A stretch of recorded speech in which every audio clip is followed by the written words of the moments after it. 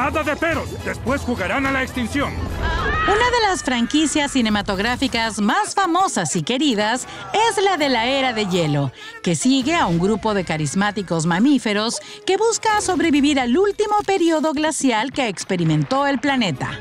Todo comenzó en el 2002, con la historia de un perezoso llamado Sid y el mamut Manny, que quieren devolver un bebé humano a su tribu, a quienes se les une luego Diego, un tigre dientes de sable, conformando una manada disfuncional.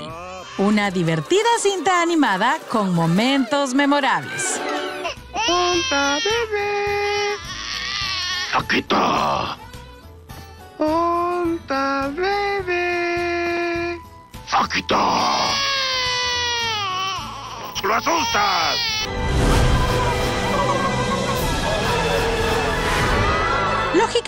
Se convirtió en un inmediato éxito de taquilla a nivel mundial, recaudando 380 millones de dólares. Fue nominada a la mejor película animada en los Oscar y en nuestro país se convirtió en la cinta más vista de ese año. De ahí hemos disfrutado de cinco entregas más, en donde la acción ha transcurrido en medio de deshielos, cataclismos continentales, catástrofes cósmicas y muchos momentos más, presentando nuevos personajes como la mamut Ellie, las zarigüeyas Crash y Eddie y la excéntrica comadreja Backwire. ¿Cuál es el secreto de su éxito? Con una enorme riqueza visual, en sus historias ocurren acontecimientos extraordinarios que ponen a prueba y unen cada vez más a los personajes ante la adversidad. Tiene un maravilloso mensaje sobre la familia. Se mantiene fresca y divertida gracias a su tipo de comedia y sobre todo por la presencia de la caótica ardilla prehistórica Scrat, obsesionada por lograr atrapar su bellota.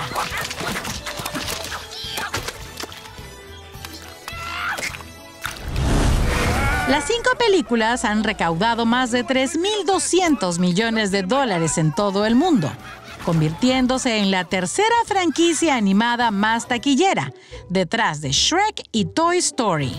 Las cuatro primeras entregas se convirtieron en la producción animada más exitosa en su año de estreno, pero la quinta, en el 2016, comenzó a dar señales del agotamiento de la historia y sus personajes.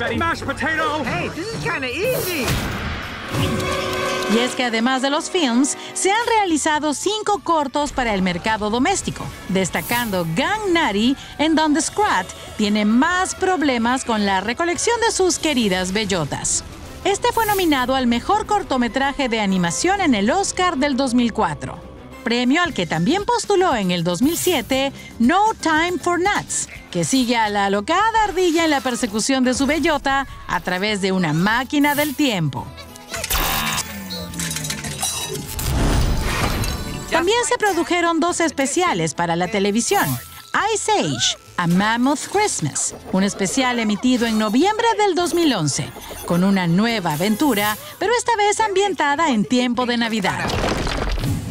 Y cinco años después, para la temporada de Semana Santa, se lanzó La Era de Hielo, la gran búsqueda de Pascua. En el 2019, su productora Blue Sky Studios pasó a formar parte de Disney y dos años después, por los problemas económicos que generó la pandemia, fue cerrada. Y peor aún, Ivy Silverstein, creadora de Scrat, recuperó los derechos de la ardilla después de 20 años de duras batallas legales contra Fox. Se temió por el futuro de la franquicia, pero la empresa del ratón Mickey decidió mantenerla viva.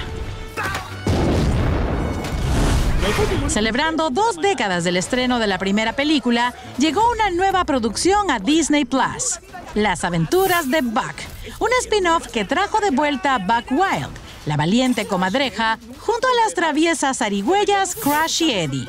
Este film fue producido durante la pandemia de COVID-19, de forma casi totalmente remota, y no tuvo los mejores resultados por su historia incongruente y mediocre animación.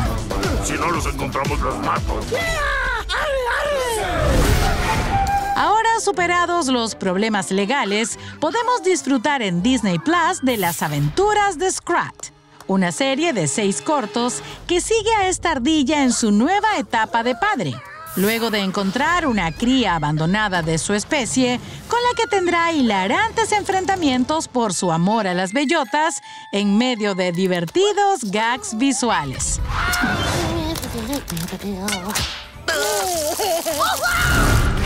Para alegría de los fanáticos de esta exitosa franquicia, la puerta está abierta para más películas, cuyo control creativo sigue estando en manos de los antiguos productores de Blue Sky, quienes tienen muchas ideas de más aventuras para seguir expandiéndola.